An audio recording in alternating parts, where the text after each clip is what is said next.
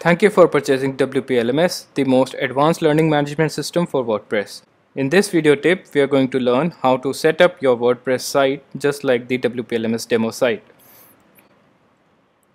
So here I have a WordPress setup with 2014 theme installed and I have already uploaded WP-LMS theme in the appearance themes section. To learn more about uploading the theme, refer to our previous video tutorials. So let's get started. So first up we'll need to activate the theme by clicking on activate button.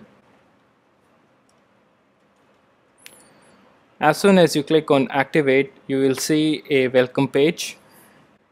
In this welcome page you will see a install and activate plugins button. So you need to click this button and you will be taken to a page which displays a list of all the plugins which are required for this theme. So we're going to select all the plugins and then we are going to select install and apply. So after clicking on apply you will see that all the plugins are being installed in your site. So once all the plugins have been installed in your site you need to go to dashboard install WP-LMS link so on the installation page you will now see two buttons. One is for configuration and the other is for setting up theme with sample data. So we need to click on the setup theme with sample data button and as soon as we click on this button you'll see a installing load bar. So the sample data is now being installed in your site.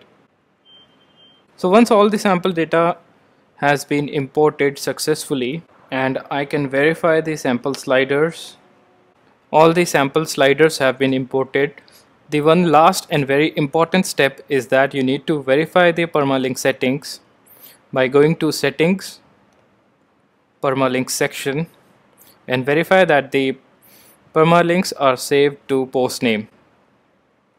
Once you have verified this, you can now open your site and we'll see that the site has been installed just like the demo along with the widgets and the sidebars. That's it from WP-LMS tips. Thanks for watching.